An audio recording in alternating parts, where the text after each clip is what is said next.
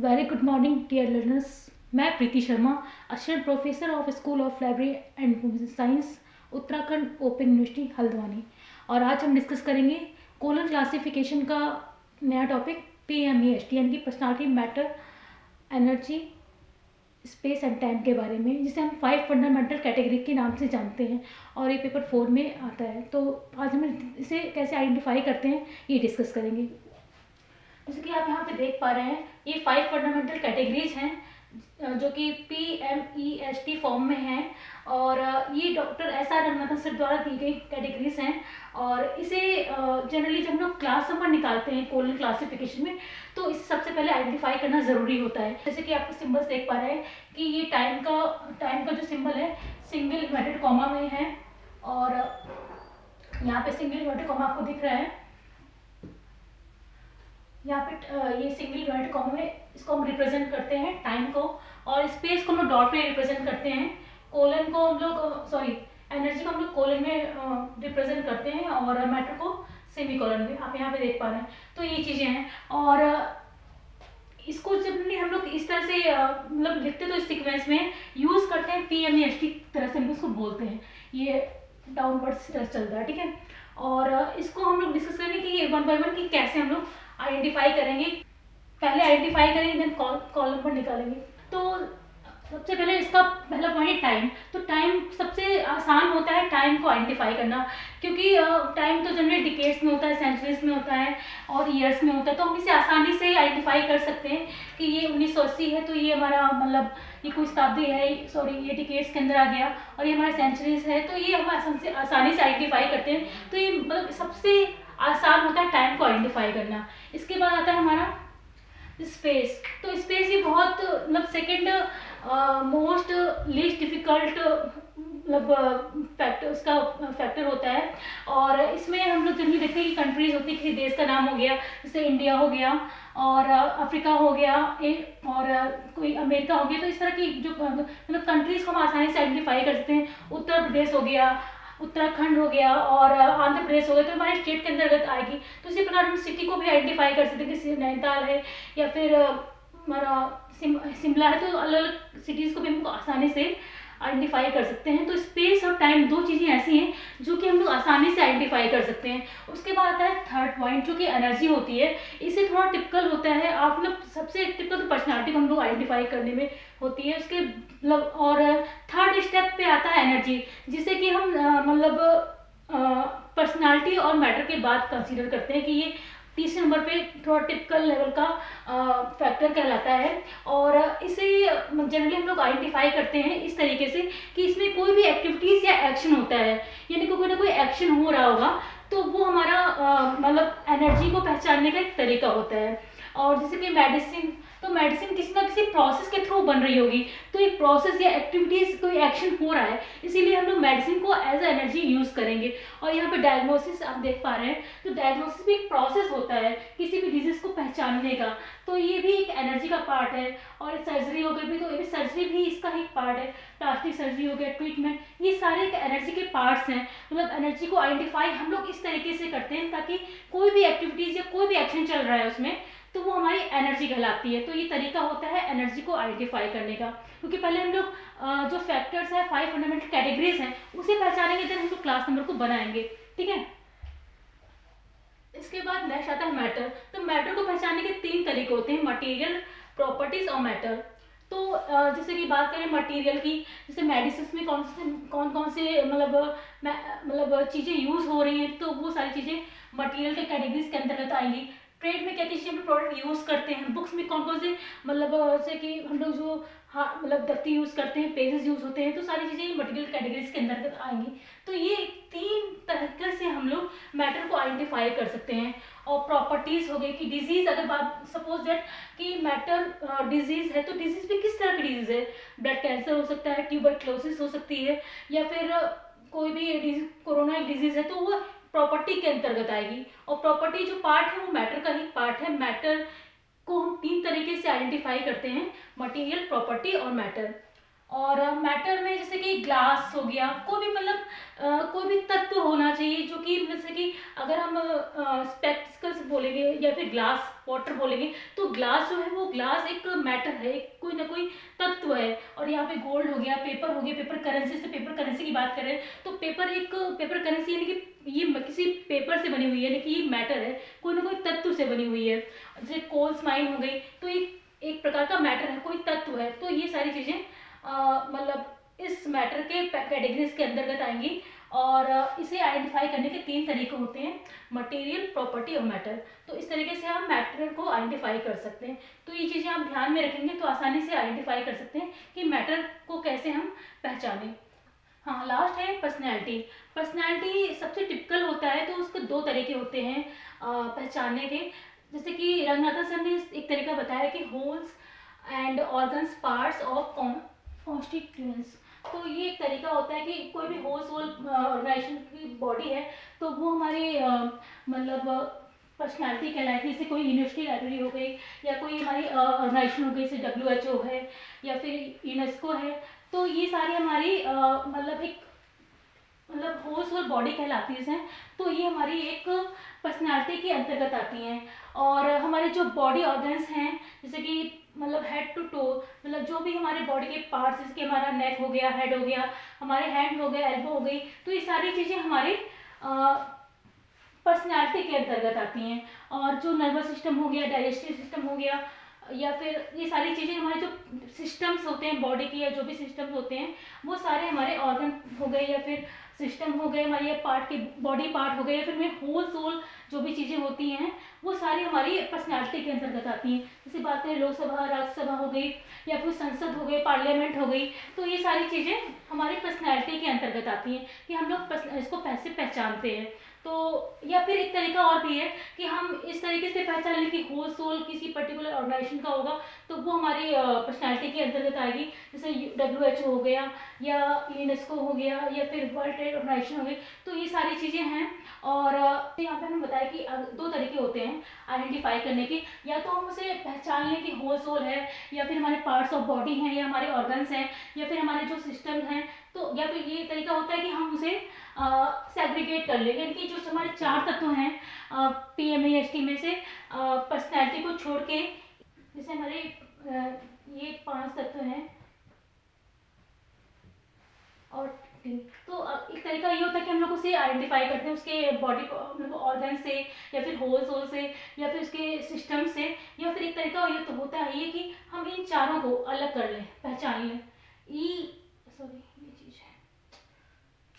ये ये है E sorry M E S T चारों को हम लोग अलग कर लेंगे। तो जो बचा हुआ पार्ट होता है, वो पर्सनैलिटी के अंतर्गत आ जाएगा। तो ये तरीका होता है कि हम चारों को अलग अलग पहचान लें और जो बचा हुआ पार्ट आएगा, वो पर्सनैलिटी के अंतर्गत आ जाएगा। तो दो तरीके होते हैं। आपको जो मतलब ईजी लगे, आप उसके अनुसार पर्सनैलिटी को पहचान सकते हैं। तो ये मैंने मतलब पाँचों जो कैटेगरीज हमसे एक्सप्लेन किया। और हम इसके एग्ज़ाम्पल के द्वारा थोड़ा सा आसानी से, थोड़ा सा उसकी प्रैक्टिस कर लेते हैं। ये कुछ एग्जांपल्स हैं। जैसे classification of books in Indian national library during 1991 तो इसमें मतलब इसमें पर्सनैलिटी कौन सी है एनर्जी कौन सी है और स्पेस और टाइम कौन सा है तो ये आइडेंटिफाई करेंगे। जैसे सबसे पहले लिखते हैं क्लासिफिकेशन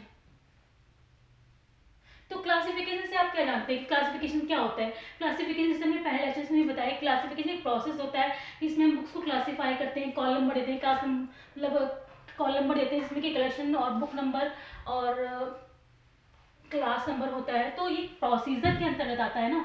तो ये प्रोसीजर जो कहलाता है प्रोसीजर हो रही है, यानी कोई एक्टिविटीज़ हो रही, कोई एक्शन हो रहा है तो ये हमारी एनर्जी के अंतर्गत आ जाएगा, ठीक है? और फिर बात आती है, मैंने अभी उसमें एग्ज़ाम्पल ही बताया था कि बुक्स तो बुक्स की बुक्स किसके अंदर है कोई मैटर है, कोई तत्व है ना तो ये हमारा मैटर के अंदर आता है किसी ना किसी चीज़ से बना है ना मतलब कोई भी दफ्तर या पेजेस का यूज़ करके बनाया है तो ये बुक्स मैटर के अंतर्गत आ जाएगा। फिर हमारा आ रहा है नेशनल लाइब्रेरी तो नेशनल लाइब्रेरी जो है, किसी मतलब आप देख रहे हैं, किसी ऑर्गेनाइजेशन को रिप्रेजेंट कर रही है। तो ये हमारा पर्सनैलिटी आ जाएगी यहाँ पे। आप इसे आसानी से आइडेंटिफाई कर सकते हैं। लेकिन कहीं कहीं प्रॉब्लम आती है मैटर और बुक्स में। तो इसीलिए हम लोग दो तरीके होते हैं कि होल सोल के माध्यम से कर सकते हैं, या फिर हम लोग ऑर्गेन्स के माध्यम से, या फिर सिस्टम या फिर हम लोग उसे सेग्रीगेट करके पहचान सकते हैं। और फिर बात आ रही है हमारे यहाँ पे, हमारे पास यहाँ पर स्पेस नहीं है तो यहाँ पे हम लोग ये देखिए, यहाँ पे हमारे पास टाइम है, ठीक है? तो ये ज़रूरी नहीं होता कि पी एम एस टी में पाँचों तत्व हमें मिल जाए, ठीक है? तो ये मतलब हमें ऐसा नहीं कि कोई प्रॉब्लम आई तो हम पाँचों तत्व को ढूँढने बैठ गए, ऐसा ज़रूरी नहीं होता। तो ये ये ध्यान रखने वाली बात है। तो ये हमारा ई e हो गया, ये हमारी sorry E for energy classification energy के अंदर आएगा और बुक्स हमारा मैटर के अंदर आएगा और इंडियन नेशनल लाइब्रेरी जो है, ये पूरी हमारी पर्सनैलिटी आएगी। और ये हमारा जो है टाइम आप देख रहे हैं ये ईयर है तो ये ईयर हमारा टाइम के अंतर्गत आएगा। तो इसी प्रकार ये दूसरी प्रॉब्लम को लेके चलते हैं हम लोग। ये से कि circulation of periodical in university libraries in India up to the nineteen seventies तो यहाँ सर्कुलेशन आप देख रहे हैं। सर्कुलेशन सर्कुलेशन भी एक प्रोसीजर होता है जिसपे हम बुक्स को मतलब इशू और रिटर्न करते हैं। मतलब सर्कुलेशन एक काउंटर होता है, जहाँ पर हम लोग बुक्स को इशू रिटर्न करते हैं और सर्कुलेशन एक प्रोसेस होता है, जिसके माध्यम से हम इशू और रिटर्न करते हैं। वो हम रजिस्टर एंट्री करके भी करते हैं, या फिर हम लोग मतलब हम लोग आर एफ़ के थ्रू भी कर सकते हैं। सेल्फ इशू रिटर्न भी होता है तो सर्कुलेशन काउंटर एक सर्कुलेशन एक प्रोसीजर है तो जो भी एक्टिविटीज़ प्रोसीजर के अंतर्गत होती हैं, वो सारी एनर्जी के अंतर्गत आती हैं। तो ये हमारा एनर्जी के अंतर्गत आएगा कि ये हमारा जो ये प्रॉब्लम है पर्टिकुलर तो इसमें हम लोग इसको सर्कुलेशन को एनर्जी के अंतर्गत मतलब पहचानेंगे, ठीक है?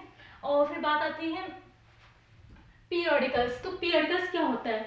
पीरियडिकल्स एक प्रकार की मतलब कोई भी जर्नल सकता मैगजीन हो सकती है, जिसमें कि समय अवधि के बाद वो पत्रिका या कोई भी जो जर्नल होता है, वो पब्लिश होता है। तो ये किसी ना किसी एक तत्व से बना हुआ है, यानी कि मैटर तो ये मैटर के अंतर्गत आ जाएगा, ठीक है? और फिर यहाँ पे बात आ रही है यूनिवर्सिटी लाइब्रेरीज जो कि आप देख पा रहे हैं तो ये हमारा पर्सनैलिटी हो गया और इंडिया यहाँ पे आप इंडिया एक हमारा देश का नाम है तो ये हमारा स्पेस कहलाएगा, ठीक है?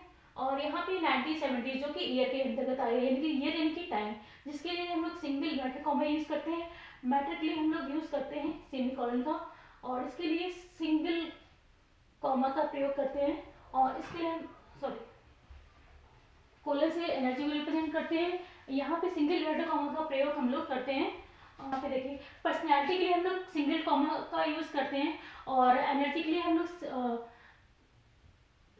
कॉलन का प्रयोग करते हैं और मैटर के लिए हम लोग सेमी कॉलन का प्रयोग करते हैं और स्पेस के लिए हम लोग डॉट का प्रयोग करते हैं और टी के लिए हम लोग space sorry single dot comma का प्रयोग करते हैं। और यहाँ पे एक चीज़ मैं आपको बता दूँ, जो डॉट का प्रयोग सॉरी ये पहले जो टाइम के लिए भी डॉट का ही प्रयोग करते थे कोलन क्लासिफिकेशन के सिक्स एडिशन से, हमारे टाइम के लिए हमने सिंगल हेड कॉमा का प्रयोग करने लगे।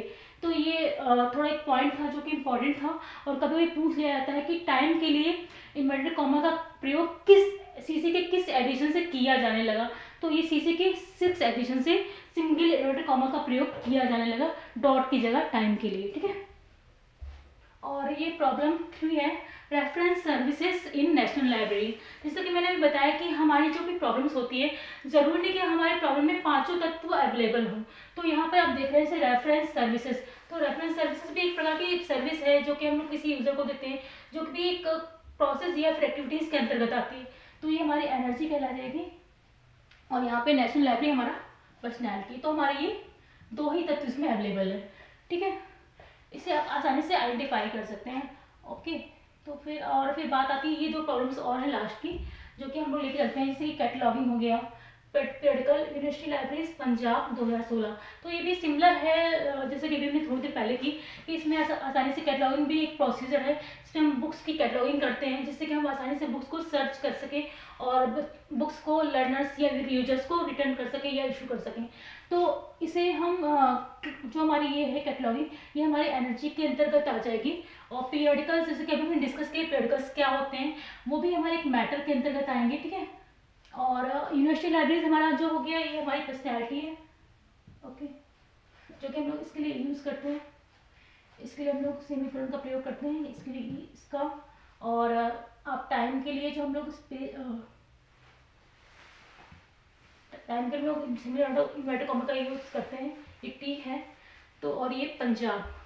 पंजाब हमारा स्पेस कहलाएगा। स्पेस के लिए हम लोग डॉट का प्रयोग करते हैं, ठीक है? तो ये हमारा हो गया। ये प्रॉब्लम थी। अभी हमारी बात है fish speeding in West Bengal तो वेस्ट बंगाल तो यहाँ साफ़ साफ़ दिख रहा है कि किसी स्टेट का नाम है। तो ये स्पेस हो गया। फ़िश यहाँ पे हमारी फ़िश बिल्डिंग एक ये बिल्डिंग एनर्जी होगी। और हमारा जो फ़िश है, ये हमारी पर्सनैलिटी होगी, ठीक है? तो ये मतलब टी के लिए हम लोग सिंगल इन्वर्टर कॉमा का यूज़ करते हैं, ठीक है? सॉरी टी इसका है। टी हमारा टाइम 2016 का है। और एनर्जी यहाँ पे ब्रीडिंग के लिए यूज़ की गई है। एनर्जी के लिए हम लोग से इसका प्रयोग करते हैं। सॉरी कोलन का। और फिर लास्ट से ये survey of law libraries in India 2010 तो यहाँ पे आप देख पा रहे हैं कि हमें सबसे आसानी होती है कि किसी भी टाइम को आइडेंटिफाई करने के लिए। तो 2010 टाइम है, जिसे हम लोग रिप्रेजेंट करते हैं सिंगल यूनिट कॉमा से। इंडिया हो गया स्पेस जिसे डॉट से रिप्रेजेंट करते हैं। लाइब्रेरीज होगी हमारी personalities law library sorry law libraries पूरा हमारे पर्सनैलिटी के अंतर्गत आएगा पी हो गया, जिससे हम लोग सिंगल कॉमा इन्वर्ट कॉमा से रिप्रेजेंट करते हैं। तो सर्वे एक प्रोसीजर होता है सर्वे हम लोग एक गवर्नमेंट ऑफ़ इंडिया द्वारा कंडक्ट कराया जाता है, जो कि हम लोग एक तरह का सर्वे होता है एक्टिविटीज़ या प्रोसेस के अंतर्गत आता है। तो ये हमारी एनर्जी हो गई। तो ये कुछ एग्ज़ाम्पल द्वारा हमने बताने का प्रयास किया कि हम आइडेंटिफाई कैसे करेंगे P M E S T को। आई होप आपको क्लियर हुआ होगा और फिर भी क्लियर ना हो तो हमसे मतलब फीडबैक के माध्यम से या कमेंट के माध्यम से पूछ सकते हैं। और तब तक के लिए मिलते हैं नेक्स्ट लेक्चर में। Thank you very much